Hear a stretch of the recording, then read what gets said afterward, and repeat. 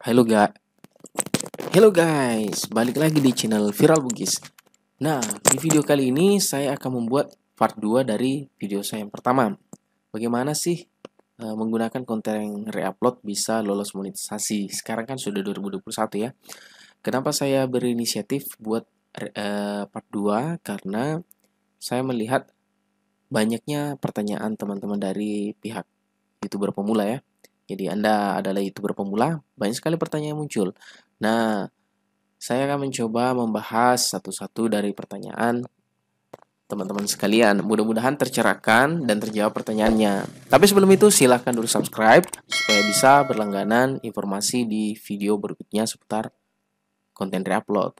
Oke, mari kita simak videonya sebagai berikut. Check it out.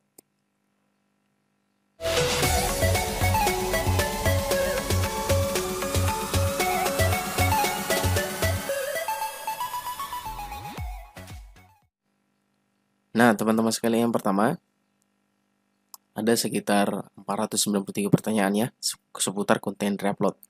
Coba saya urutkan dari komentar terbaru dulu.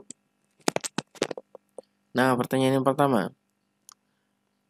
Kalau kita nih mengambil konten eh, musiknya saja yang Creative Commons, apakah musik itu ketika dikompilasi menjadi video relaksasi bisa lolos monetisasi enggak?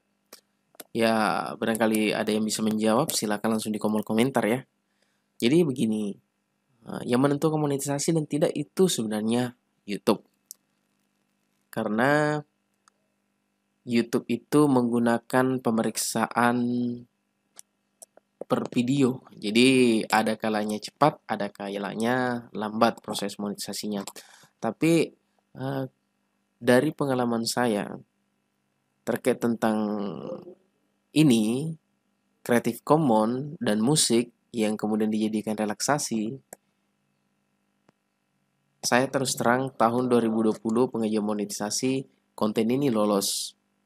Ada video saya contohnya ini ya ini. Ini adalah video-video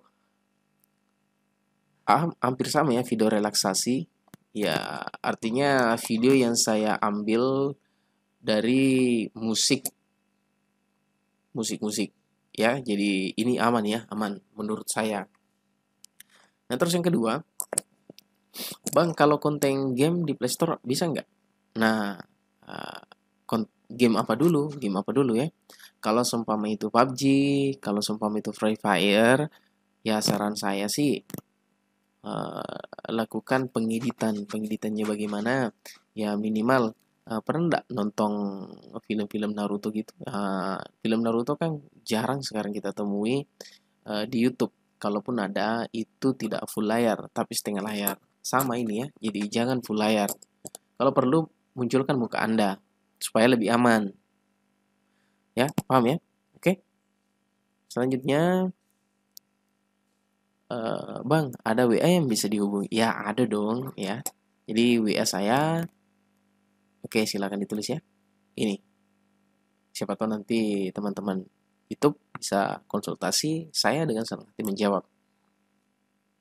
Selanjutnya, uh, ini ini ini ini ada yang mau dicekkan itu tentang apa ya?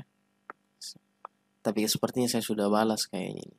Nah, uh, coba kita lagi. Bang konten saya kan film tapi film Creative Commons. Tapi kenapa gagal monetisasi? Ya saya saat ini bisa lolos monetisasi itu bermula dari beberapa channel. Terus terang saya memiliki tiga channel. Channel pertama dan channel kedua eh, gagal. Karena channel pertama saya menggunakan film ya Kenapa saya menggunakan film? Karena saya berpikir bahwa banyak yang akan nonton ketika itu uh, film. Nah, ternyata memang banyak tontonannya, hampir satu juta. Tapi itu gagal, gagal monetisasi karena konten reupload. Jadi saran saya nih, kalau memang belum terlalu banyak viewernya, uh, hapus saja, jangan gunakan konten film, di TikTok atau story IG yang cuma 15 detik, bisa nggak monetisasi? Hmm, dari pengalaman saya sih, kalau menggunakan uh, aplikasi pihak ketiga itu menurut saya nggak aman. Contoh ya Facebook, TikTok, IG, Bigo Live, uh, apa dan apa ya. Uh, kenapa? Karena contoh ya TikTok uh, itu biasa kan menggunakan musik berkonten hak cipta, ya musik berkonten hak cipta. Uh, jadi kalaupun memang toh mau menggunakan video dari aplikasi pihak ketiga, jangan tampilkan itu lisensi aplikasinya, misalkan ya TikTok atau uh, Bigo Live. Uh, kemudian musiknya pun diganti kan gitu ya. Jadi jadi seperti itu. Terus selanjutnya, Bang mau tanya, kira-kira bakal diterima nggak kalau di video itu isinya foto-foto saya ambil dari Twitter dan gabunginnya. Ah, ini pertanyaan menarik dari Novi Apridayeni ya. Oke. Jadi teman-teman, eh, saya ingin sampaikan dulu bahwa dua channel saya sebelumnya itu menggunakan film. Pertama film dari eh, kampung halaman saya sudah Selatang. Terus yang kedua film dari uh, Warkop DKI. Nah, tuntunannya banyak, hanya pas di permohonan monetisasi itu ditolak karena konten reupload. Pada channel ketiga ini saya nggak mau pusing dengan channel-channel saya sebelumnya itu meskipun banyak subscribernya. Jadi saya berpikir gimana sih kalau saya buat inovasi tersendiri. Nah, saya pun buat Instagram namanya ini ya Instagramnya viral bugis di situ saya membuka uh, apa jasa tapi gratis pembuatan video dari foto-foto dan video-video uh, teman-teman yang kemudian saya kompilasi menjadi lagu dari eh, menjadi video dan itu menggunakan lagu dari ciri khas kedaerahan saya. Nah, itulah yang saya gunakan di YouTube sampai dengan pengajuan monetisasi. Alhamdulillah diterima dan itu pun peninjauannya kurang lebih hanya dua hari dan lolos monetisasi. Nah, kenapa cepat? Karena YouTube mengatakan bahwa eh, mereka eh, si Viral Bugis menggunakan kontennya sendiri, bukan konten reupload yang terutama seperti video-video ya. Hmm. Terus selanjutnya, Bang mau tanya, ini kan saya baru ditolak monetisasi karena reupload. Disuruh ngejual tanggal 10 dan video aku upload sudah saya hapus. Apakah jam tayang saya hilang? Ya, tentu jam tayang akan hilang. Kalaupun memang ada yang belum kejadian atau belum ada yang hapus jam tayangnya, saran saya sih privasi aja, privasi. Karena uh, gini ya, ini bocorannya. Kalau Uh, tugasnya sebenarnya para youtuber hanya mengumpulkan 1000 jam tayang dan 4000 eh 1000 subscribe dan 4000 jam tayang. Sudah tercukupi dan sudah pengajuan monetisasi dan lolos. Ketika pun Anda me, me, me, me, dari tadi privat ya video-video lama, kemudian Anda mempublikasikannya, nanti video-video Anda yang sebelumnya ada reupload itu akan mendapatkan iklan Kenapa saya katakan begitu? Karena YouTube tidak terlalu permasalahkan ketika konten kita sudah ada uh, penerimaan monetisasi. Coba lihat di channel-channel lain ya. Channel-channel besar biasa kita lihat bahwa kok konten-konten seperti ini nggak kena reupload karena memang kalau sudah lolos pengajuan monetisasi ngapain ditinjau kembali kan seperti itu paling yang pengiklannya kalau melanggar dari pihak apa dari pihak uh, thumbnailnya atau titlenya yang keliru kan seperti itu ya. Jadi ini pertanyaan PTP ya. Oke selanjutnya. Jaka Tingkir ya. Lagu video MP3 bisa kah dimonet? Ya bisa. Selama anda mengambilnya di YouTube bukan di di Google ya. Anda mengambil video di YouTube, Anda mendownload video itu, izin sama orangnya, uh, cek dulu apakah tidak mengandung hak cipta. Kalau memang tidak, ya silakan digunakan seperti itu.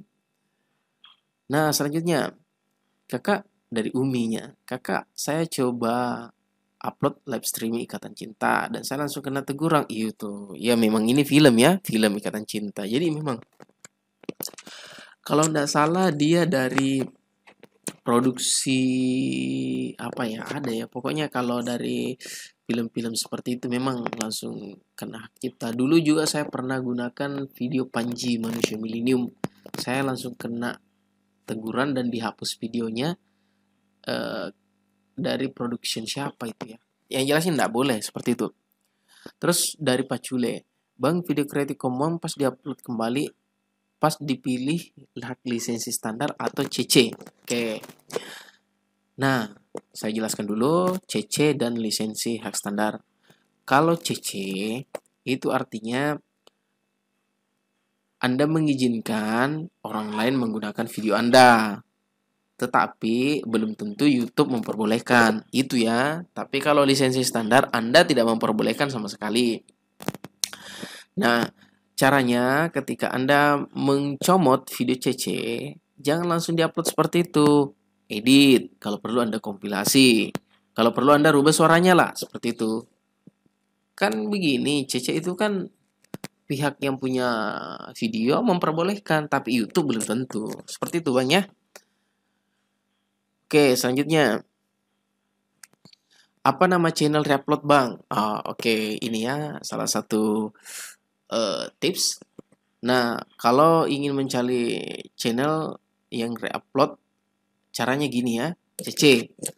Atau Anda bisa lihat video saya ini. Ini saja ya untuk menjawab pertanyaan ini. Ini coba lihat video ini saya yang di atas. Nah, itu ya bagaimana cara mencari video Creative Commons. Terus selanjutnya Bang, konten saya reupload dari akun Semule. Saya pribadi bisa nggak bang? Oke, silakan diprivasi. Tapi videonya itu jam tayangnya itu akan nanti kurang. Tapi aman kok buat monetisasi. Selanjutnya, Bang, kalau aku ambil animasi pembelajaran, kemudian suaranya saya ganti, rekaman saya sendiri, apa termasuk konten reupload, Bang? Aman nggak? Pertama, izin dulu sama yang punya video ya. Uh, terus, uh, yang uh, kenapa perlu izin? Karena uh, animasi pembelajarannya bisa saya kena uh, teguran. Saya pernah membuat konten bagaimana cara menegur orang yang mengambil video kita. Ini bisa lihat videonya di atas ini ya ini ini konten bagaimana cara uh, menegur orang yang menggunakan video kita tanpa izin ya ini nah jadi izin izin itu perlu kalau anda ganti suaranya rekaman saya sendiri eh, rekaman sendiri oke okay, nggak jadi masalah itu itu nggak apa-apa aman kok terus bang saya ambil lagu dari YouTube terus saya kasih spektrum tapi nggak kena cipta ya ini ini ini aman ya hampir sama dengan pertanyaan sebelumnya terus Bang, kalau kompilasi kayak free kick, sepak bola, aku kasih sumber lisensi. Yang penting Anda edit. Ya, yang penting Anda edit. Aman kok. Bang, kalau ada video musik lisensi, Creative Commons di-download terus dipakai video kita aman, aman banget, aman ya sama video saya tadi. Saya jelaskan sebelumnya aman. Terus ya kita lihat pertanyaan yang berbeda ya. Oke, ini Bayu Eki Channel video reupload di blur total dijamin lolos monet nggak ya bang tapi posisi cuma dua video doang dan itu di blur semua hmm, kalau di blur apa sih yang menjadi eh, apa yang menjadi daya tarik kalau di blur itu yang menjadi pertanyaan kalau aman saya rasa aman tapi maksud saya apa sih yang menjadi daya tariknya ya, apa yang menjadi daya tarik jadi Bayu Eki Channel apa yang menjadi daya tarik dari penonton seperti itu maksudnya terus Bang D Bang kalau di privat bisa lolos nggak sama jam tayangnya? Hilang nggak? Oke. Privasi artinya di privasi hanya Anda yang bisa lihat. Baik dari pihak YouTube dan penonton nggak bisa lihat. Ya tentunya jam tayangnya hilang. Dan kalaupun Anda mengumpulkan jam tayang kembali 4000 dan video Anda masih ada yang di privat, kalaupun itu konten reupload, toh tetap bisa lolos. Seperti itu ya. Jadi nggak perlu hapus, kasihan loh jam tayangnya dari kartun anak, Bang kalau ambil backsound dari Creative Commons, aman nggak penghijauan monet? Kontennya, tapi ada video saya yang bernarasi. Soalnya video saya ada 10 pakai backsound Creative Commons. Ya, lagi-lagi saya katakan selama Anda edit, ya Creative Commons itu kan nggak perlu lagi izin. Selama Anda edit, dan Anda memasukkan video muka Anda, nggak nggak jadi masalah ya seperti itu ya. Bang kalau ambil video dari FB terus aku upload ke YouTube monetisasi nggak? Oh ini yang bahaya ya. Kalau dari FB sih sudah terang-terangan karena orang banyak yang gunakan FB. Tapi nggak apa-apa, Anda edit. Kalaupun perlu seperdua dari layar YouTube, Anda pasang muka Anda seperti itu ya. Jadi Anda seakan-akan memberikan video reaction. Seperti itu. Coba deh bang, tolong cek channel saya, apakah video saya dimonetisasi. Kira-kira bisa nggak dimonetisasi? Ya, pernah saya pernah kunjungin ya. Hmm. Oke, selanjutnya. Bang, kalau merekam layar di aplikasi video terus upload, upload di YouTube, monetisasi nggak? Nah, saya jawab ya. Saya pernah, saya pernah uh, buat video di channel saya sebelumnya. Saya rekam video MotoGP ya. Kemudian saya upload. Ah, belum belum ada keterangan monetisasi atau tolak. Eh, tapi justru saya di blacklist ya dari dari apa itu ya nih MotoGP. Karena itu katanya nggak boleh. Jadi tentunya itu nggak bisa seperti itu ya. Ad series RC Bang, harus lisensi kan diseluruhkan video atau bagaimana? Enggak, enggak harus ya. Tergantung dari Anda. Kalau CC berarti Anda membagikan video Anda. Anda memperbolehkan orang lain menggunakan video Anda. Tapi kalau lisensi standar berarti Anda tidak memperbolehkan seperti itu. Nah, selanjutnya Hana Anugrah. Bang, maaf, kalau video kompilasi lagu MP3 gimana caranya biar lolos monetisasi? Anda bisa lihat video saya ini ini di atas saya bagaimana cara MP3. MP3 ya, bukan video dari YouTube. Anda bisa menggunakan video saya ini. Tonton ini ya. Saya jamin ini Hana Nugra nanti bisa lihat dari itu ya. Oke. Uh, selanjutnya kita lagi lihat lagi. Hmm, Oke, jadi konten saya ini Bang uh, apa dari berbagai sumber channel yang saya satukan dalam satu konten dan saya tambah musik dan teksnya aman banget aman kompilasi ya aman tapi saya katakan kalau anda menggunakan video orang lain izin tampilkan nama channelnya seperti itu terus bang kalau aku tidak diterima di monetisasi terus mau kejar jam tayang dengan cara upload video anime dan film tapi ukurannya kecil itu ke depannya bisa monet nggak? Uh, tergantung videonya gimana, video animenya gimana. Uh, karena ada yang lolos, ada yang tidak. Jadi tergantung, saya rasa ini tergantung, tergantung dari eh, keahlian Anda mengedit.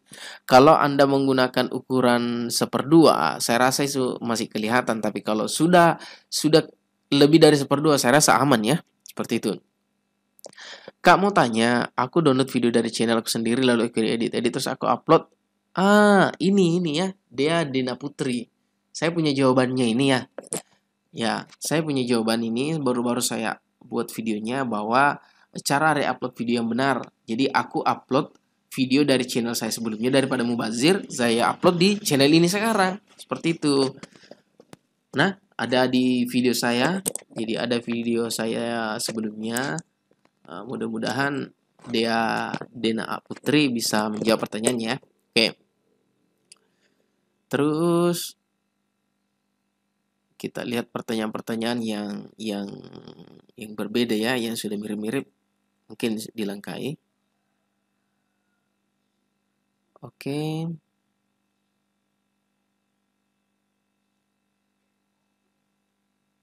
Bang, kalau reupload tapi make Creative Commons dari berbagai sumber channel, apakah bisa dimonet? Bisa.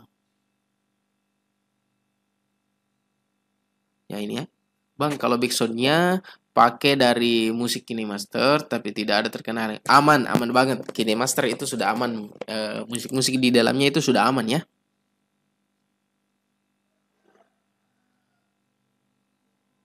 Uh, Oke okay, ini Bang, kalau konten upload TNI dan Polri bisa monet nggak? Ya, Sugraha Agusta tergantung dari siapa pemilik channel itu. Dan juga tentunya harus ada izin. Kalau ada musik musik yang terkena hak cipta, ya saya rasa itu perlu diganti musiknya ya. Ini lagi Guru Dudung, Bang viral kalau pakai narasi sama kayak video orang aman, aman ya. Jadi pakai narasi ya. Ini lagi. Minta tolong sarannya bang, di antara dua video-video saya di YouTube ada tiga video ya download dari Facebook. Saya taruh di YouTube, tidak ada keterangan hak ciptanya. Apakah bisa lolos pengajuan monet? Hmm, mending privasi aja. Karena saya sudah jelaskan sebelumnya kalau dari FB itu oh, bahaya banget ya. Uh, ini, ini, ini, ini, TikTok. Bang, uh, bikin video TikTok padahal baru setelah hari satu hari view-nya udah banyak gitu. Nah, padahal uh, Bang TikTok uh, di view dikit-dikit Bang apa ini ya intinya saya bingung juga.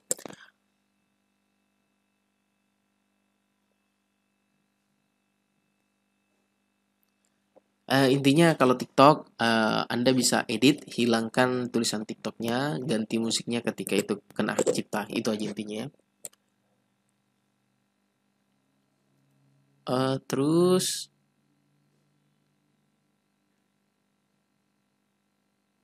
ini lagi bang dari Elektria War. Bang kalau kontennya benar-benar menerjemahkan konten luar gitu reupload nggak bang? Enggak selama itu ada izin dari si itu dan edit edit sedikit jangan full layar setengah layar aja atau kalau bagaimana tampilkan muka anda uh, dan terjemahkan. Itu aman aman kok Hmm, Bang, tiga akun termonetize efek video, ubah audio tidak tampil real. Ya, ini buktinya ya. Ini buktinya sudah ada yang monetisasi. Terus eh, terakhir mungkin saya cari pertanyaan terakhir. Bahaya ini banget, bahaya ini. Mamen Cuprus Bang sudah empat kali ditolak monetisasi. Apa yang harus saya lakukan? Ini sudah ada bincang-bincang yang pernah saya lakukan ya. Bahaya juga itu empat kali, Beuh, sudah lama. Hmm. Pertanyaan terakhir yang sebagai penutup. Oke, uh, Bang, kalau video kompilasi saya edit bisa monet, bisa, bisa banget ya, bisa. Jadi itu tadi pertanyaan teman-teman yang pernah diajukan di video saya ini mudah-mudahan bisa terjawab semua ya. Jadi nanti eh, teman-teman ke depannya nggak pusing lagi gimana caranya sih buat konten eh, reupload. Karena pada dasarnya memang eh, semua youtuber itu berbeda-beda. Ada yang senang membuat video sendiri ada yang lebih senang eh, mengedit video sendiri ya jadi seperti itu para youtubers kalian. Kalaupun ada pertanyaan selanjutnya pada video kedua saya ini silahkan tanyakan di kolom komentar. Sekian. Salam youtuber. Assalamualaikum warahmatullahi wabarakatuh